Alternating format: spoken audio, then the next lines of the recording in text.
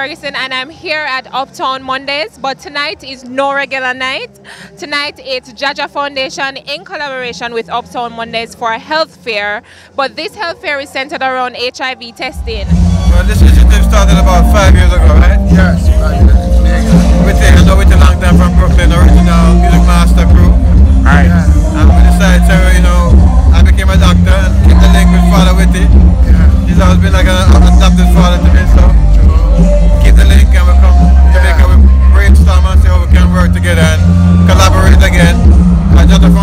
about collaboration with the people on the ground who are doing the grassroots work, you know? Yes.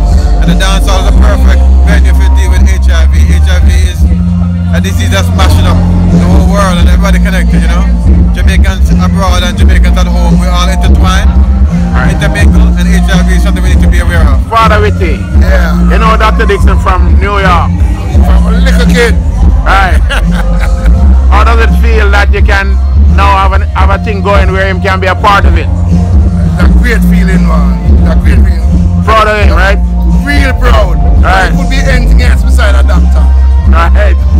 It could be anything else beside a doctor. And he chose to be a doctor. Right. Stay in the right lane. Right. Yeah. And we don't forget the people, Yeah. where we come from. Right. Check us out. Yeah. Alright, well, hope everything goes well tonight, see?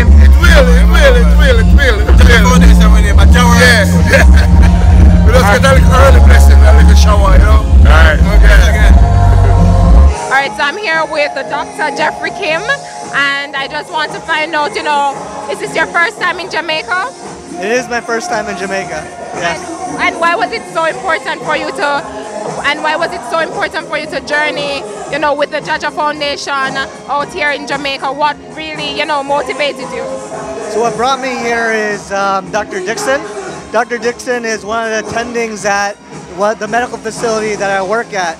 And you know, he built the organization from the ground up. So I'm hoping to do something very similar in different countries. So I just wanted to see how he got things started here. And um, you know, he does a lot of great things. He does conferences where he teaches medical professionals. He does things like healing on the dance floor where you know, we get to reach out to different communities that a lot of organizations don't. So, yeah. Okay, good. And you said it's your first time, and how's it going so far? Are you having a good time? I'm having a good time. The Jamaican people are very kind. Um, you know, everyone here is so generous and very open and welcoming. And, uh, you know, I love it. I love it so far. Yeah. Okay, thank you. All right, so I'm here with Dr. Michael, who is a physician, and um, is this your first time in Jamaica? No, not my first time in Jamaica, but first time with the group. Oh, first time in the group. And um, are you excited to be a part of the foundation? Yeah, definitely excited to be a part of the foundation and give back to the community. Okay, so what's the most exciting thing you're waiting for tonight? Is there any particular part of the program that you're, you know, looking forward? Well, I'm a big fan of uh, dancehall, so just to see this community come out and give them support and help out. Okay, good. All right, is there anything um, important that Jamaicans need to know regarding the health, the health um, fair? Just, we've all grown up and we all know that sometimes we can get a little ahead of ourselves just to be safe and think about our future.